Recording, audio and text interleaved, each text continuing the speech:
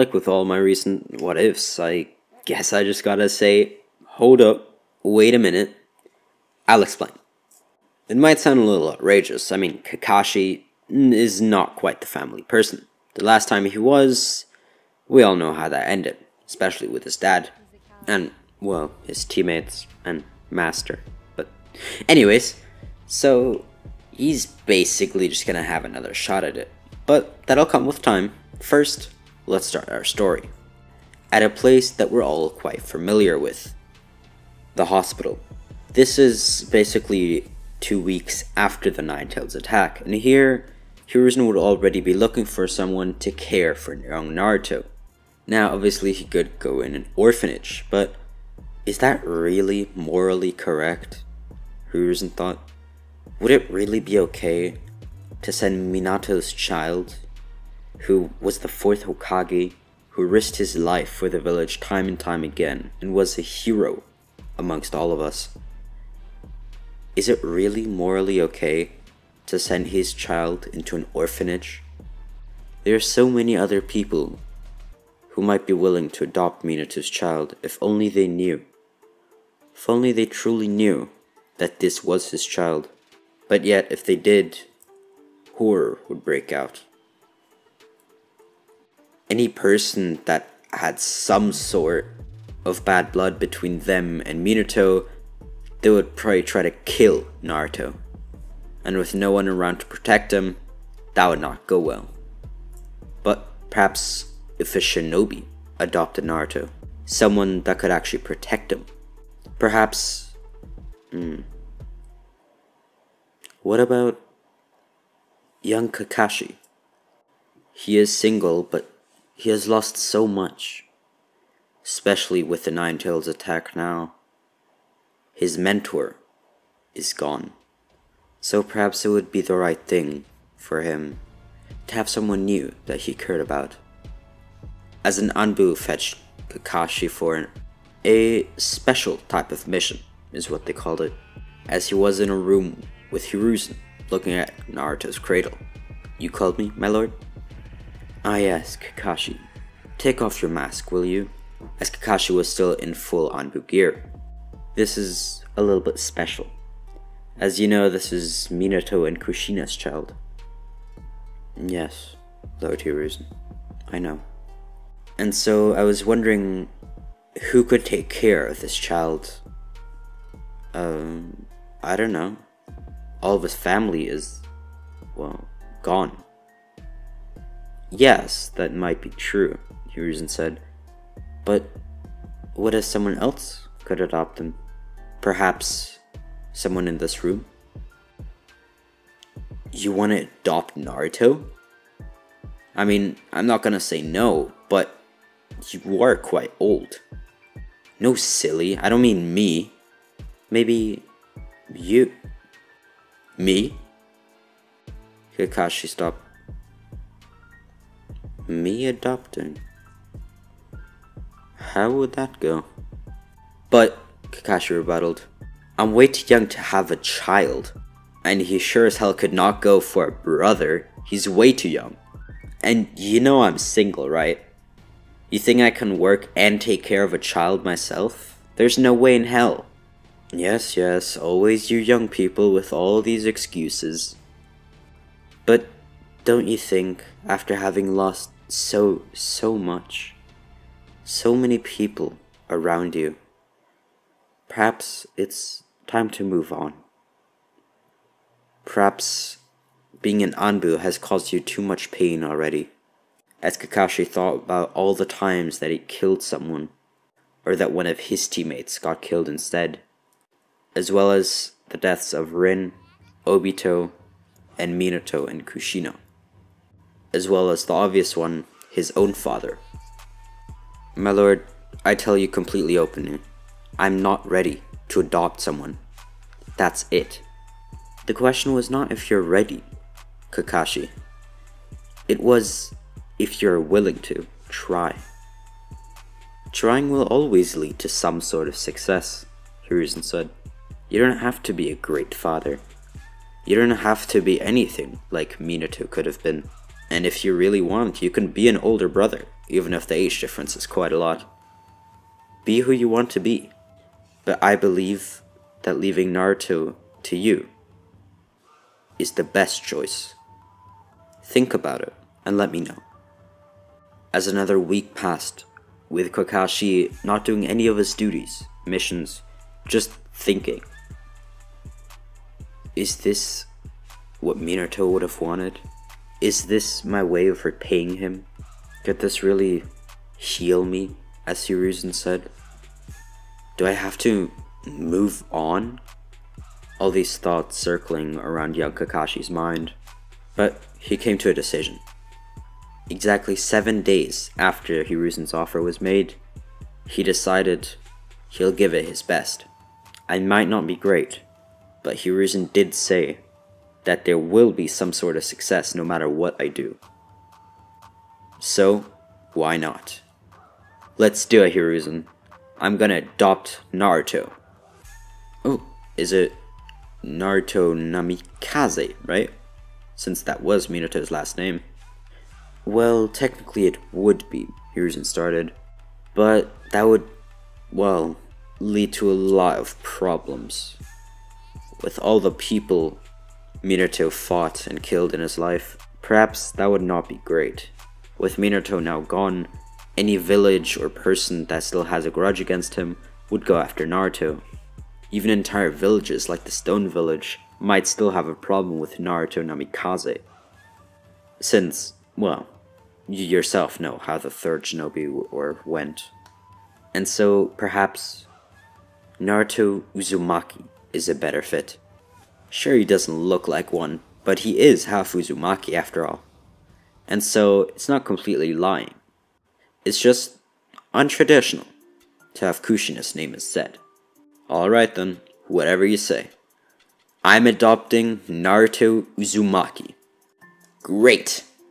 Now we just have to do the paperwork. As Hiruzen and Kakashi immediately stopped smiling and started to do the paperwork for adoption. Though it wasn't much since, well, obviously Naruto didn't have any family that had to accept. So after 15 minutes, Kakashi was ready and took Naruto home. Then realizing that his home was not ready to have a child at all. Now, obviously, Kakashi was an incredible shinobi, and so over the years, we're just gonna assume that he had been building up some savings. And so, some days passed, some weeks, and even some months. No one knew about Minato or Kushina's child, except for, of course, a select few, Hiruzen, Kakashi, but not even the councils knew. But Danzo did. But for now, he wouldn't say anything. Naruto and Kakashi slowly got, well, accustomed to each other, and so they got used to living together. Kakashi actually cared for Naruto. Hiruzen, that was not subtle, I'm genuinely calling him out because Hiruzen is a horrible person in canon. Like, jokes aside, he was actually kind of disgustingly mean. Anyways, but now life could continue. And so Naruto and Kakashi living together would actually be quite a good time. Kakashi would slowly turn, well, to the good side. Not in a Jedi Star Wars kind of way, but he himself felt like his time of an Anbu was behind him. And so he left the Anbu becoming an actual, well, Chunin for now, but later on would become a Jonin, simply because he's very powerful. And a small thing for now is I'm going to say that since Kakashi actually has someone to care about now, he's to train more. Simply because he knows that Naruto will probably be a, quite the wanted person when he grows up, and so Kakashi needs to be able to protect him, at least as long as he can protect himself. In the future, he'll probably become quite strong, but for now, he needs Kakashi's help and so he actually became stronger as well. Keep that in mind for later. But sadly, life can't always be rainbows and sunshine, and so Danzo obviously had to say that Naruto was the Nine Tails and was a demon. Now he was in Jinchuriki, but he was a demon. And so everyone started hating him, similar to, well, the canon. No one knew about his, well, family, Minato, Kushina, all that. And so people actually started believing that he was the Nine-Tails, and slowly but surely, everyone started hating him. And for a while, he even thought that Kakashi would start hating him. But obviously, that would never happen. Similar to Hiruzen, not in canon, in this Hiruzen, actually, like an actual caring person. Obviously, he would not hate Naruto.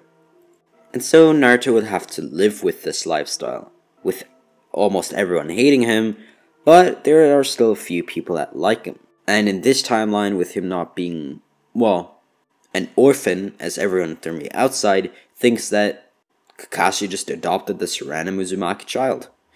Well, the last one, but still random. And so, quite a few people would actually not hate Naruto to the degree that they did in canon. I mean, Kakashi is very respected in the village, and now that he's not an Anbu anymore, but an actual shinobi, now by the way, he is a Jonin already, he was respected especially amongst any shinobi. Any Chunin that would have normally hated Naruto and even tried to beat him up or anything like that, would now kind of have to respect him. Kakashi was a ninja legend, and so his son would have to be treated at least somewhat like a human. So, in short, Naruto's beatings aren't as bad as in canon. Keep that in mind. But he is still hated. Obviously, he loves ramen to death, and so him and Kakashi would go there quite often. With Ichiraku obviously also having pity for Naruto, and sometimes even giving him a free meal. Though Kakashi being a shinobi and actually earning money, he would pay for it 99% of the time. Except sometimes on Naruto's birthday or something like that.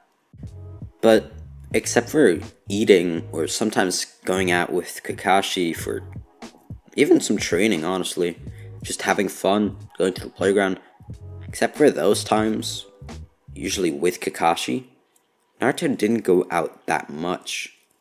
Sure, he liked the fresh air, like the wind, the grass, the sunsets. He loved watching sunsets. But the villagers really disliked him. And so maybe it was better for him to stay inside. At least that was his thought process, and for quite a while, at least for him, it worked. Until one day he met a boy named Sasuke. Now, they were both only at the age of 6 right now, so no Uchiha massacre just yet, though tensions were rising. But luckily Sasuke didn't know anything about that, and so Naruto having been introduced to Sasuke as well as the other way around, obviously Mikoto knowing who Naruto was, just from his facial features as well as his hair, he could clearly see that that was Minato and Kushina's kid. It was clear as day, and she was wondering how no one else had noticed but she kept quiet, though did ask Kakashi to confirm, and he did. And so she was very happy when Naruto and Sasuke played, and Mikoto thought to herself that if Kakashi hadn't adopted Naruto, perhaps she would have. But that's only if she knew that this was actually Minato and Kushina's son. If not, well, already had two sons, and that's quite the challenge already. Especially in an Uchiha household where people always off each other. No, like I'm actually serious though. People in the Uchiha clan always kill each other. Like, like bro, they never get a breather. I think that's why the families in the Uchiha clan don't have that many children. Because they're just gonna get oofed. Like, damn. Anyways, so now Naruto and Sasuke having a good friendship, they play together basically every day, and Naruto is much more happy to go outside. Sasuke, obviously not as depressed and emo, isn't too cool to play with Naruto, and so they became best friends. And basically, Naruto's best memories were all with Sasuke. Sure, there were some very good ones with Kakashi, but an adult is just different.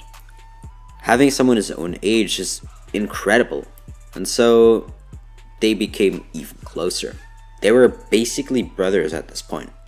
Sure, she really loved Itachi, but Naruto wasn't too close to Itachi, though they did talk, thing, and so they never really got to bond the way that Naruto and Sasuke are. Naruto wasn't too close to Itachi, though they did talk sometimes, when Itachi just kind of joined the kids' conversations. Obviously, he was only 12, I think. No, 11. I think 11 or 12. I'm not sure when his birthday is. Yeah, I think it was 11. I don't know. But yeah, he wasn't too much older. And all of this would actually become very welcome to Kakashi. He had kind of worried that Naruto wouldn't make too many friends, especially with the village mostly hating him. With Naruto getting close to Sasuke, he also got closer to some of the other Uchiha kids, as all of them kind of faced something similar to Naruto. Sure, they weren't openly hated, but the Uchiha were always a little disregarded. They were kind of outsiders, even though they lived in the same village as all the others. The Uchiha were different, and so Naruto was able to bond with all the kids much more than the other Konoha kids. But eventually, he started opening up to other kids his age, but sadly, they didn't receive it so well as the Uchiha kids did. Well, the kids did, but, well, their parents didn't. Their parents told them to never hang out with that kid again. People like Sakura's parents, Shikamaru's parents, and even Choji's parents, who were usually laid back. And so Naruto just continued to hang out with the Uchiha kid. But that's going to be it for episode 1. I really hope you enjoyed this, as there is definitely more coming. And so, I will see you next time. Bye.